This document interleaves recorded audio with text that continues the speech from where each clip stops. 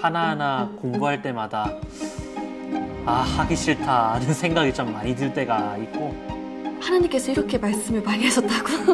이게 다 시험 범위로 적용이 돼버리니까. 1학년 친구가 손들더니 선생님 재미없어요 라고 했던 게 아직도 기억나서 그래도 그렇게까지 재미없었나? 하면서.